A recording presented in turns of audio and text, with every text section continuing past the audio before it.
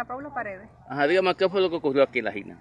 No se sabe qué, cómo fue, si, cómo fue que se quemó. Yo estaba en la cocina cocinando y cuando veo que fue el humazo que tengo entre, las casas, voy y cuando veo que está todo prendiéndose. No sé qué fue lo que sucedió. Sí, ¿Cómo a qué hora fue? Como eso de las 12, De las 12. de las 12 en el mediodía.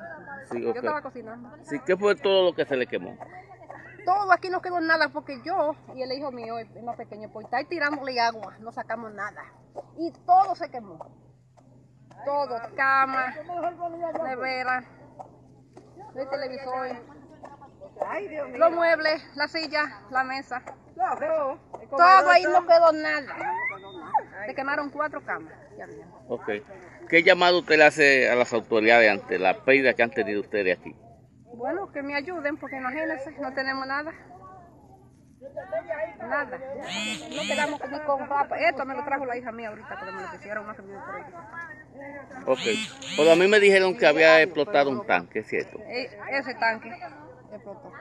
Explotó. Ujú. Ok, vinieron los bomberos primero. No, no, no. Eso, eso, nosotros estábamos tirando agua y no pudimos. Lo dejamos así, porque ya estaba todo prendido arriba. ¿Con quién vive usted aquí? Con el esposo mío y un hijo. Ok.